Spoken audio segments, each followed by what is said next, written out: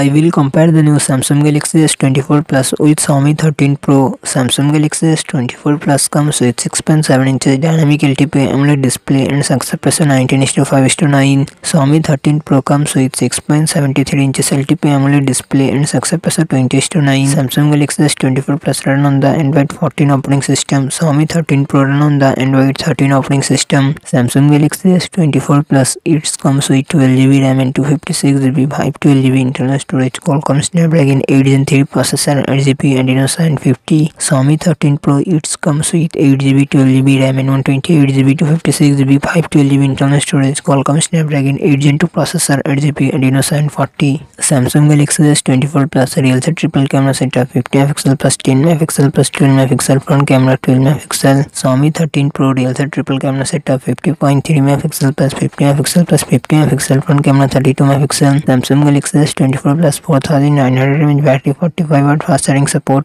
Xiaomi 13 Pro 4820 mAh battery 120 watt fast charging support